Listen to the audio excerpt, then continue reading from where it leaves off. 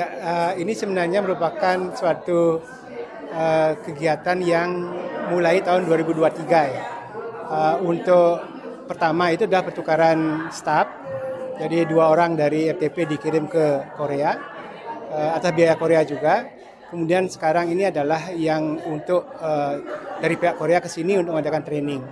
Jadi tahun pertama kita menjalin kerjasamanya, kemudian sekarang implementasinya. Mulai dari sekarang itu adalah training dulu, kemudian nanti mulai September itu adalah yang program satu semester. Jadi uh, dosen berasal dari Korea dilakukan secara online. Nanti terakhir pada akhir semester mereka akan datang ke sini uh, selama dua minggu untuk menyelesaikan uh, program satu semester itu. Jadi baru satu kali.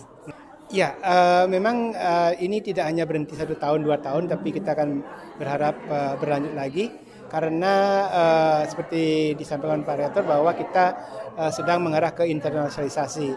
Jadi di situ uh, awalnya kita mulai training dulu, kemudian kita bertukar uh, satu semester, kemudian nanti uh, kita akan berlanjut ke pertukaran staff.